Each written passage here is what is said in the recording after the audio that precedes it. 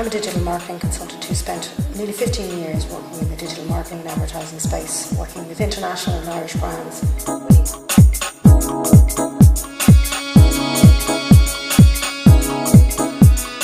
I think one of the first tips I give anybody is to, to really focus uh, uh, on the story. Uh, an awful lot of people focus on the product and the calls to action really try and sell it too hard. Think about the person who's listening to the story. Really try and engage them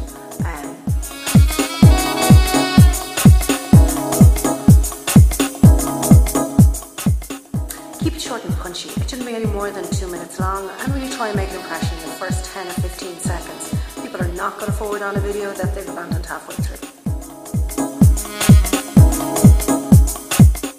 The element of surprise really encourages sharing and it enhances a brand's personality. Um, you know, when it's unexpected, when you're telling an untold story, um, that's enjoyable and it's entertaining. People will really pass it on.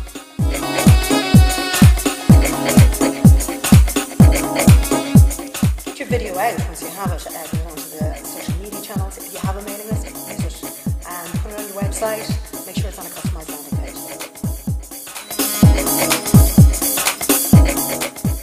There is no magic bullet or winning formula to making a video that everyone's going to talk about, but it starts with knowing your audience and really.